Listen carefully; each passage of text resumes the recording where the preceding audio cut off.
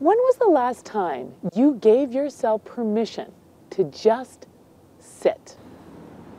Well, there are hundreds of benches all over Victoria that are just waiting for you to come and enjoy.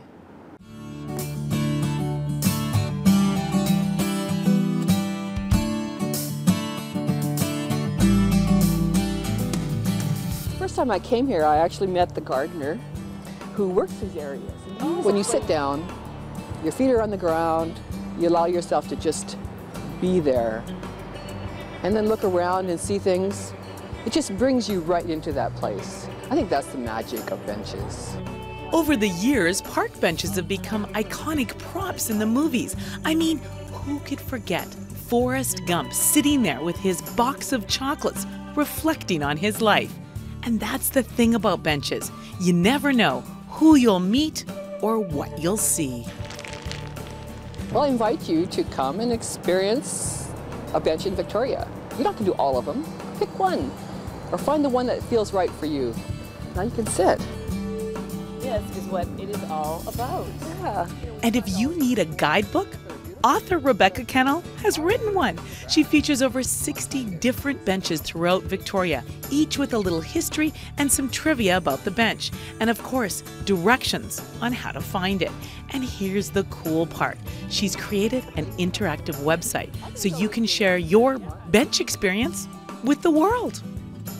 I'd love to hear your stories about what's happening, how you see it, your interpretation, because everybody's interpretation is different. Many benches feature plaques with quotes or dedications, and when you pause to read them, you can't help but wonder who that person was and what they meant to those who loved them. The plaque on the bench teaches me about someone who was important to someone at one time, like the Grandma Jean Jones bench on Laurel Point.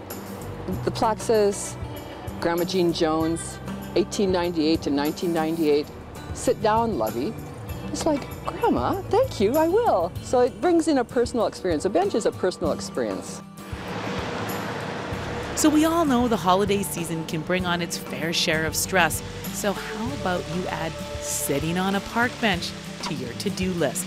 Your feet and your soul will thank you. Just stop five minutes and you will feel yourself relaxing. Your feet on the ground and just breathe a little bit. And then you'll be renewed again. Why not experience Victoria at bench level? This book won't only show you where all these fantastic places are, but the stories help bring our city to life. From Victoria, I'm Karen Elgersma, your lifestyle specialist. Producing over 9,000 hours of local programming every year. This is Shaw TV, your local voice.